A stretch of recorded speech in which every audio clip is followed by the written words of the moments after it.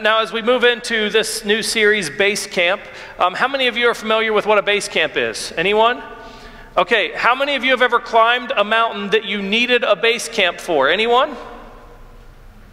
I figured that might be the answer. Okay, we got a few. That's awesome. I have never climbed a mountain that needed a base camp. But basically, uh, what a base camp is, is like if, if you ever watch something about people climbing Mount Everest or one of those huge mega mountains, what they do is they climb up a certain distance and then they set up a base camp that's kind of their base of operations. That's where they make sure they've got their supplies in order. That's where they rest. That's, that's where they get their plan together. And so base camp is, is just this place where, where they're making sure that they're ready for the journey. So what we're talking about in this series is that we, we are all on this journey this climb to holiness. Our, our vision statement is upward, outward, forward. And, and we believe that every person should be growing to be more like Jesus.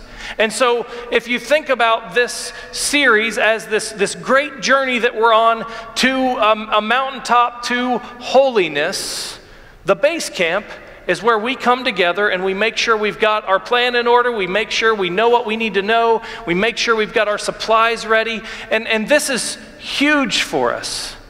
Because if we are going to be holy, which we are called to do as Christians, we don't just come to sing together and, and socially distance, shake hands, or wave at each other. We come to become holy, to be transformed by God.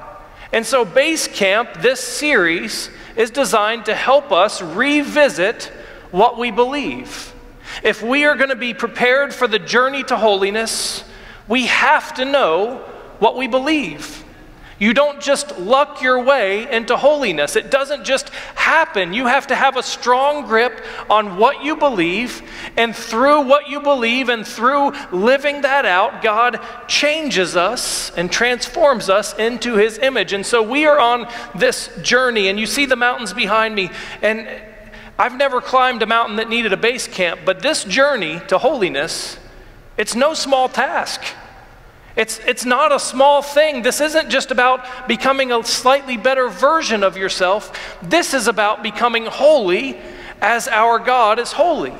And so we just want to make sure that we're spending time knowing what we believe, revisiting what we believe, because what you believe will influence your actions. Doctrine and practice are two sides of the same coin. What I mean by that is what you believe and what you do go together. So my kids like to say, like, you know, the basement is always a scary place in a house, right? And my kids can be scared of the basement, especially when there's a bunch of fireworks going off or something like that. And so occasionally, um, my kids will say, like, we're not going to go down there right now. We're going to hang up up here with everyone else. And we say, are you scared? And they're like, no, no, I'm not scared. I just don't want to go down there right now. The, the truth is, their belief or their fear is influencing their action. If you, so hardly any of you set off fireworks last night, right? Um, I, we did at the Dockery household. I don't know if, it, are we going to get arrested for that? Is that even legal? Did I just commit a crime and brag about it? Um, and so we, last night we did, we set off some fireworks. We don't do that very often. I definitely don't do that. Um, I, I like them, they're fun. But, but if you believe fireworks are dangerous, you're probably not the one up there setting them off. In fact, the last time we set fireworks off at the Dockery's house was probably about eight years ago. And we had one of those ones that you light it and it shoots like 10 shots. And they set it up and lit it. And after that first shot, you know what happened?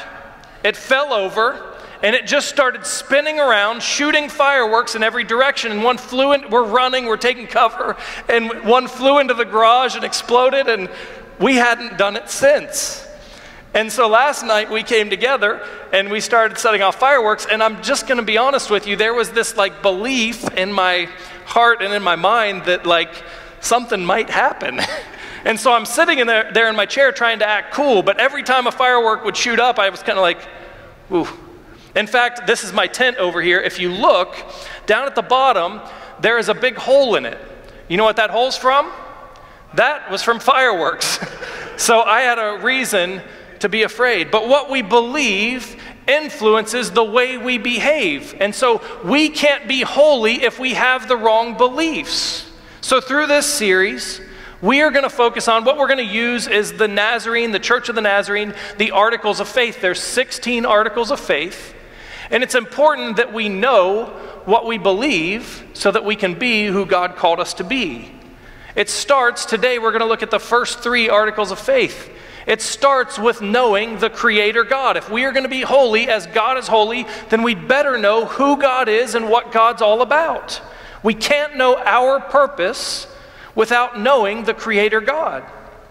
And so, so God is holy. And, and we want to be holy. We are called to be holy. And so we're going to look at who God is today. I'm going to start by reading the first three articles of faith. We've got lots of scriptures, lots of things today, but I'm going to read you the first three articles of faith. The first one says this We believe in one eternally existent, infinite God, sovereign creator and sustainer of the universe, that He only is God, holy in nature, attributes, and purpose the God who is holy, love, and light is triune and essential being, revealed as Father, Son, and Holy Spirit. We're going to expand on these in a second, but the first article of faith is right there. So we, we see that God is the one true God. There is no other God that creates and sustains the universe. There is no other God that can give you light and life and love. There is one true God, and that's who we're here to worship today. Then we see in that first article of faith that that God is triune. We're going to get into this in a minute. But our God is one, but he exists in three persons the Father, the Son, and the Holy Spirit. We'll talk about that more in a minute. Let's go to the second article of faith.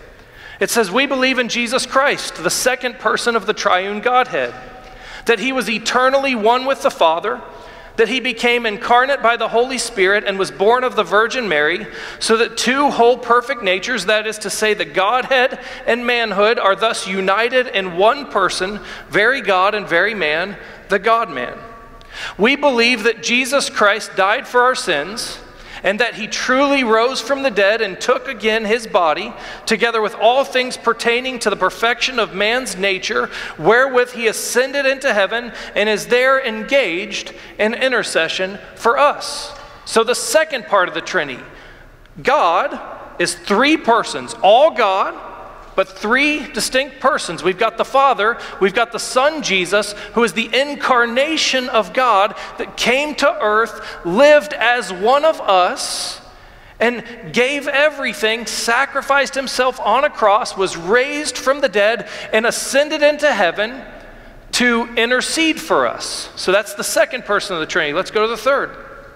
We believe in the Holy Spirit, the third person of the triune Godhead, that he is ever present and efficiently active in and with the church of Christ, convincing the world of sin, regenerating those who repent and believe, sanctifying believers, and guiding into all truth as it is in Jesus. So there's our first three articles of faith. There is one God who's triune in nature. The other two members are Jesus Christ, who came, was incarnated by the Holy Spirit, walked this earth as fully God and fully man died, rose again, ascended, and, and is interceding for us, and the Holy Spirit who is constantly at work in us. And so, so this is who God is. Now, I know, let me say this I know for a lot of you that, that this is probably more review than anything new. I know that most of us have probably heard plenty of messages on who God is. But, but this is important. I was thinking about this. So, there's a movie on Netflix and it's called Free Solo. Have any of you seen Free Solo? It's about this guy who climbs mountains with no gear, no ropes, nothing. He just climbs with his bare hands and his shoes, like, I mean, I'm sure he wears clothes, but, but he climbs mountains with no gear. And so this whole, um, this whole show is about him climbing El Capitan in Yosemite. Have you guys ever seen that mountain? It is straight up. I mean, there is, it's not one of these deals, it's one of these deals. And, and so he, this whole movie is about his preparation and his just, just his infatuation with wanting to climb this mountain, El Capitan, with, with nothing, with no gear.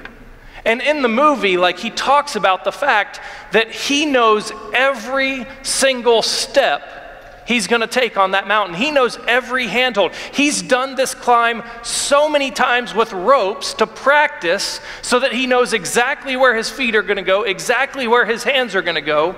See, the truth is, when we're on a journey, a big journey, climbing a mountain, it's not enough to just say, I know that, and move on.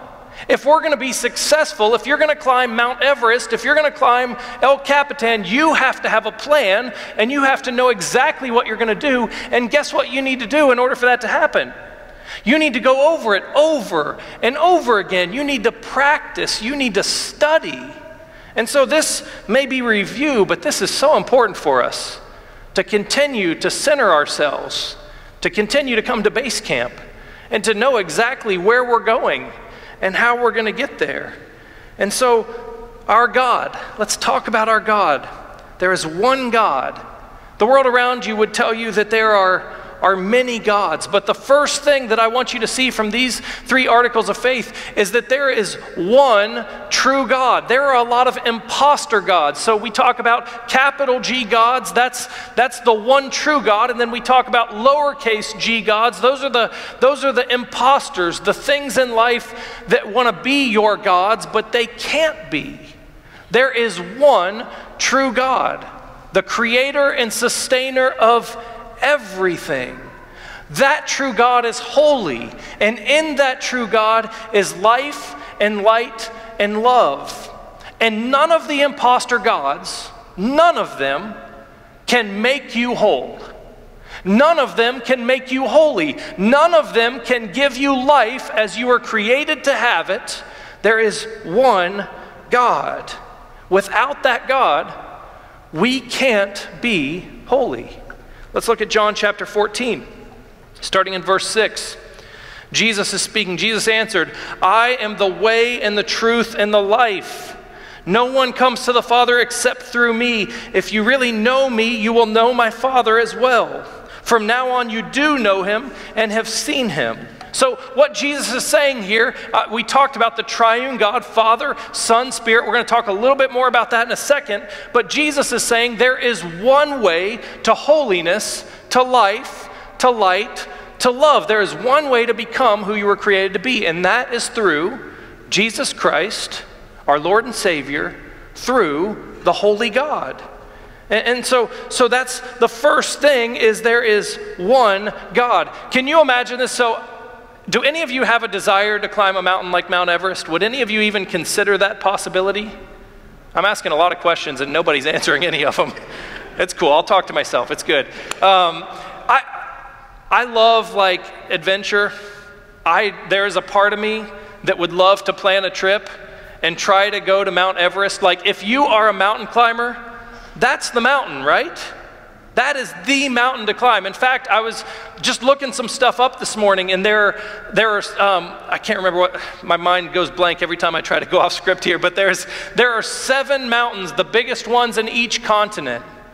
And, and those mountains, of them, Mount Everest is the most famous, it is the, it is the most daunting to climb. And so, out of all of those, it's the, it's the hardest. There's a 29% chance if you try to climb Mount Everest, you'll make it. And we're not talking about just people like you and I just going and trying. We're talking about people who prepare and plan and do. So, like, Mount Everest is the mountain and so, can you imagine if we all planned and we trained and we said, We're going to climb Mount Everest, we're going on the adventure, and we all got in the car and, and we started driving and we thought we were going to go to the airport and we were going to fly and we were going to end up, we were going to go on Mount Everest? And can you imagine if we got out of, the, uh, out of the van or the vehicle in Kentucky and looked up at a hill and someone said, All right, go ahead, climb it? Can you imagine that? Like, it's not it's not Mount Everest. Like, there is one mountain that if you are a great mountain climber, you need to climb that mountain. That's Mount Everest. There is one true God. There are a lot of imposters, but they're nothing. They can't give you anything. There is one true God. John 1 says, In the beginning was the Word, and the Word was with God, and the Word was God. This is triune nature of God. He was with God in the beginning. Through him, all things were made. Without him, nothing was made that has been made. And in him was life, and that life was the light of all mankind. Listen, the first part of our journey here, the first part of our base camp, of our ascent to holiness, of our becoming like the holy God, is that we have to understand that there is no other way than through Jesus Christ, the Son and knowing the holy God through the work of the Spirit, through the love of the holy God. There's no other way. So, number one, there is one God, one true God. Number two, that God is triune in nature. What that means is we serve one God that exists in three persons. This is probably one of the more difficult concepts in the Christian faith this idea of a triune God, a God that's one, but a God that is three persons. So last year, I don't have a lot of experience climbing mountains, but last year, Megan and I um, went to Canada and we climbed a, a mountain. Um, it was called the Chief. And the Chief, like I looked at the first day we got there, I looked at it and I said, Megan, we got to climb that thing. And that was just me being me. Like, I didn't think we'd really do it. But the last day we were there, we were like, let's go do it. So we started climbing. And the chief, like, there is a summit there. And so we started up the path, and it was this huge journey, and we got about three quarters of the way up. And right there, it split off, and it said, if you want to go to the second summit, you can take this path, and it's just another hour or two of hiking. And at that point, we were like, no thanks.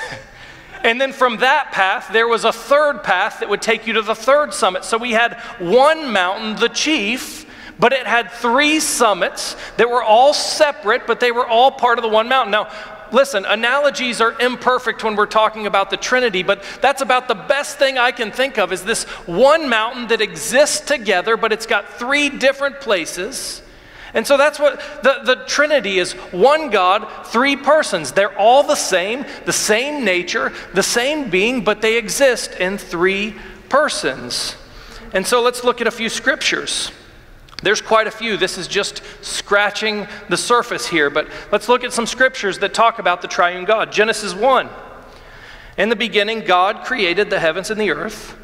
Now the earth was formless and empty, darkness was over the surface of the deep, and the Spirit of God was hovering over the waters. So, right here in the creation of everything, we have the God, the holy God, and we have the Spirit of God together. Let's look at John 1 1.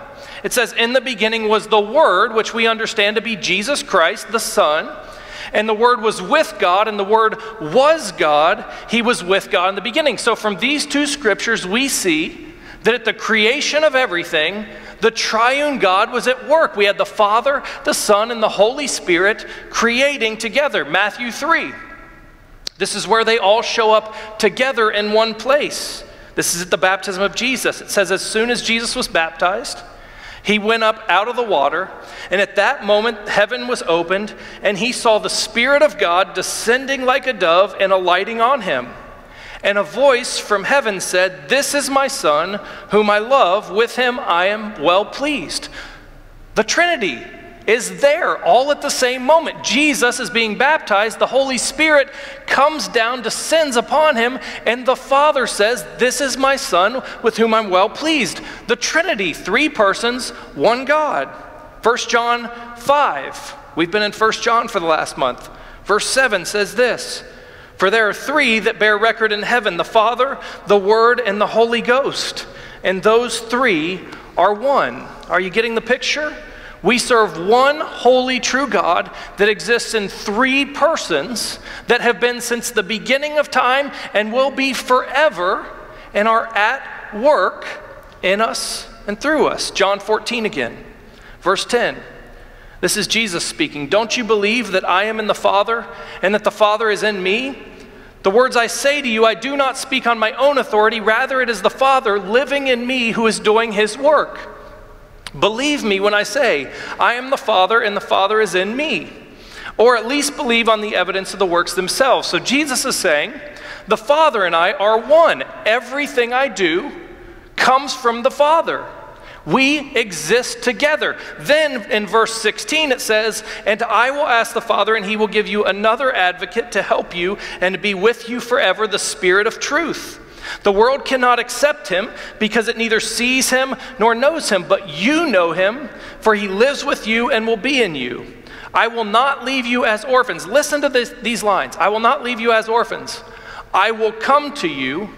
Before long, the world will not see me anymore, but you will see me. Because I live, you also will live. So in John 14, we see the Trinity at work. Jesus says, The Father and I are one. Everything I do comes from the Father. The Father is working through me. And then Jesus says, I'm sending you the Holy Spirit. And even though I'm going to ascend into heaven, you will still see me because the Holy Spirit is the one God. And so we have the Trinity one God, three persons. From the very beginning, the Trinity has been at work. Our holy God has been at work.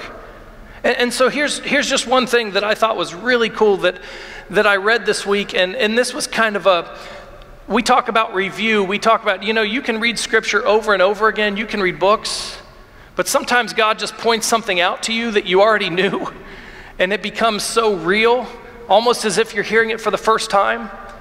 But, but the very nature of God is relational. See, God is love. We talk about God is love. Scripture says God is love. Before creation, God existed in Father, Son, and Spirit. Do you know what that means? That, doesn't, that means that God didn't see our love and try to copy it. God didn't become love. God is love. Before any of this existed, before any of us existed, love existed because God's nature is relational. The Father, Son, and Spirit, unified, working together, true love existed. And so when we say God is love, that's not God is love like I love Taco Bell or God is love like we love each other imperfectly. God is love. His very nature is love. And so we understand that we are created in the image of God, to be a people of love, to, to be in relationship. From the very beginning, God's love was present. And to the end of time, the Trinity, the Holy God in three persons, will be at work in us. Think about this. In creation, all three were there creating. Jesus was in, incarnated and came as a human. Jesus died on a cross, so we have incarnation, we have salvation. Then Jesus ascended to heaven, and, and we have intercession. Jesus is working on our behalf, and one day we will be at the judgment. The Holy God in three persons is constantly at work in our lives. And here's the best part so, God is love. God is holy. God is awesome. If you look at Mount Everest, if you turn and look at the mountains behind me, those are just magnificent, right? I mean, can you imagine climbing that? Can you imagine that? Here's the cool part the holiness, the love, the light, the life that God is, God calls us into. See, we were created in the image of God, and we were created to be in relationship with a holy God. We were created to be in relationship with the triune God, with the perfect love of God. Do, does that blow your mind? When we look at the incredible mountaintops, when we look at Mount Everest and we think, oh, that's awesome, God dwarfs that. And we are called, we were created to be one with God, to know Him, to live for Him, to be loved by Him, and to love Him. What an awesome idea. And so that brings us to our third thing, and that's that we are to be holy as God is holy. This journey to the top, this ascent, this, this holiness we talk about, it's, it's not just a better version of you. It's not just coming together to sing songs. It's not just it's not just living by a list of rules, it's, it's not just being slightly better than the people down the street. The holiness that we are created for and that we were called to. We are called to be in union with the holy God. That's a huge deal. I can't imagine climbing Mount Everest, but I promise you that climbing Mount Everest pales in comparison to the holiness and the greatness of our God. And you and I are invited into that relationship, invited into that holiness. Let's look at 1 Peter 1, verse 14. It says, As obedient children, do not conform to the evil desires you had when you lived in ignorance, but just as he who called you is holy, so be holy in all you do. For it is written, Be holy, because I am holy. Listen, I know you came to church today. I don't know what you expected to come and, and, and, and get out of it. I don't know what you expected from today, but I want to tell you that you are called, you were created to be holy. And, and what we're doing here is no small thing. We come together to worship the Creator God, and we come together to be transformed into God's holy image.